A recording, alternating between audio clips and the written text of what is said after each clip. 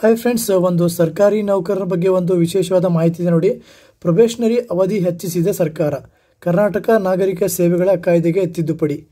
ಸರ್ಕಾರಿ ನೌಕರ ಐದು ವರ್ಷ ಇರಲಿ ಕಟ್ಟೆಚ್ಚರ. ನೋಡಿ, ಸರ್ಕಾರಿ ಸೇವೆಗೆ ಸೇರ್ಪಡೆಯಾಗುವ ಅಧಿಕಾರಿಗಳು ಹಾಗೂ ನೌಕರರು ಇನ್ನು ಮುಂದೆ ಐದು ವರ್ಷ ಒಂಚೂರು ತಪ್ಪಾಗದಂತೆ ಎಚ್ಚರಿಕೆಯಿಂದ ಕರ್ತವ್ಯ ನಿರ್ವಹಿಸಬೇಕು.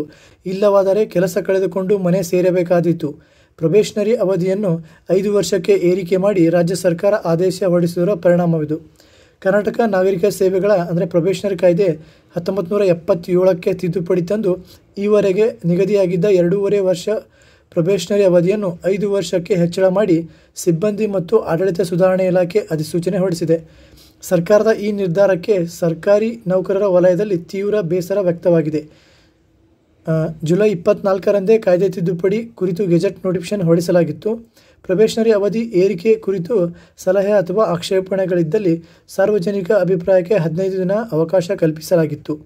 ಯಾವುದೇ ಸಲಹೆ ಹಾಗೂ ಆಕ್ಷೇಪ ವ್ಯಕ್ತವಾಗದ್ದರಿಂದ ಹೊಸ ನಿಯಮ ಜಾರಿಗೆ ತರಲಾಗಿದೆ ಎಂದು ಸಿಬ್ಬಂದಿ ಮತ್ತು ಆಡಳಿತ ಸುಧಾರಣಾ ಇಲಾಖೆ ತಿಳಿಸಿದೆ. ಮುಲಾಜಿಲ್ಲದೆ ಹೊರ ಹಾಕಬಹುದು ಪ್ರೊಬೇಷನರಿ ಅವಧಿಯನ್ನು ಪರಿಪೂರ್ಣವಾಗಿ ಮುಗಿಸದಿದ್ದರೆ ಸರ್ಕಾರಿ ಉದ್ಯೋಗಿ ಎಂದು ಪರಿಗಣಿಸುವುದಿಲ್ಲ.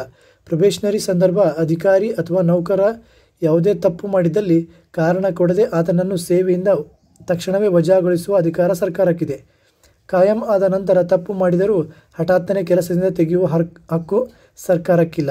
ಆರೋಪ ಕೇಳಿಬಂದರೂ ಇಲಾಖಾ ತನಿಖೆಗೆ ಆದೇಶಿಸಿ ಅಲ್ಲಿಂದ ವರದಿ ಬಂದ ನಂತರ ಕೂಲಂಕುಷವಾಗಿ ಪರಿಶೀಲಿಸಬೇಕು. ವರದಿಯಲ್ಲಿ ಆರೋಪ ಸಾಬೀತುಪಡಿಸುವಂಥ ಸಾಕ್ಷ್ಯಾಧಾರ ಲಭ್ಯವಾದರೆ ಮಾತ್ರ ವಜಾ ಮಾಡಬಹುದು ಎಂಬುದಾಗಿತ್ತು. ಎರಡೂವರೆ ವರ್ಷ ಎಂಬುದಾಗಿತ್ತು. ಈಗ ನೋಡಿ, ಎರಡೂವರೆ ವರ್ಷವೇ ಸಾಕಿತ್ತು. ಪ್ರಸ್ತುತ ಜಾರಿಯಲ್ಲಿರುವಂತೆ ಪ್ರೊಬೇಷನರಿ ಅವಧಿ ಎರಡೂವರೆ ವರ್ಷವೇ ಸಾಕಾಗಿತ್ತು. ಈಗ ಹೊಸ ತಿದ್ದುಪಡಿಯಂತೆ ಐದು ವರ್ಷಗಳ ಕಾಲ ಸರ್ಕಾರಿ ನೌಕರ ಅಥವಾ ಉದ್ಯೋಗಿ ಭಯದಲ್ಲೇ ಕರ್ತವ್ಯ ನಿರ್ವಹಿಸಬೇಕಾದ ಪರಿಸ್ಥಿತಿ ನಿರ್ಮಾಣವಾಗಿದೆ. ಕೆಲವೊಮ್ಮೆ ಮೇಲಾಧಿಕಾರಿಗಳ ವೈಯಕ್ತಿಕ ದ್ವೇಷದಿಂದಾಗಿಯೂ ಸೇವೆಯಿಂದ ವಜಾಗೊಳಿಸುವ ಸಾಧ್ಯತೆ ಇರುತ್ತದೆ ಎಂದು ಸರ್ಕಾರಿ ನೌಕರರು ಅತೃಪ್ತಿ ಹೊರಹಾಕಿದ್ದಾರೆ. ನೆಕ್ಸ್ಟ್ ನೋಡಿ. ಸರ್ಕಾರಿ ಸೇವೆಗೆ ಎಸ್ ಎಸ್ ಎಲ್ ಸಿ ಕಡ್ಡಾಯ ಅಂತಿದೆ. ದಲಾಯತ್ ಜವಾನ ಸೇರಿ ಡಿ ಗ್ರೂಪ್ ಹುದ್ದೆಗಳಿಗೆ ನೇಮಕವಾಗಲು ಎಸ್ ಎಸ್ ಎಲ್ ಸಿ ಅಥವಾ ತತ್ಸಮಾನ ಶೈಕ್ಷಣಿಕ ಅರ್ಹತೆಯನ್ನು ಸರ್ಕಾರ ಕಡ್ಡಾಯಗೊಳಿಸಿ ಆದೇಶಿಸಿದೆ.